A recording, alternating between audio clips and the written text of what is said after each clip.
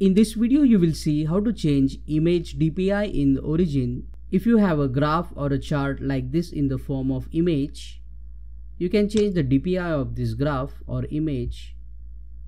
If you go to the properties of this graph, you will see that under the details, the DPI of this graph is just 96 DPI. So to change the DPI, right click on the graph or image, go to open with and select origin. You will be able to see the graph image in origin now. Now to change the DPI of this graph, go to the file option. Under the export, select image, select the destination where you want to save the image and select the format. We will select here TIFF since most journals require TIFF format. Click on save and now you will be asked at what DPI resolution you would like to save the image.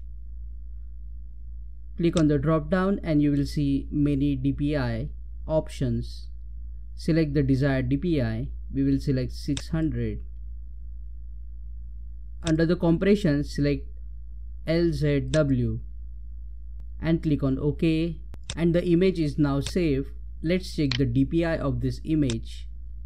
Now as you can see the DPI of the image is 600 DPI. You can use this graph or a chart image of 600 DPI for your publication. Click on that like button if this video solved your problem and don't forget to check out these useful videos shown on screen to know more about Origin.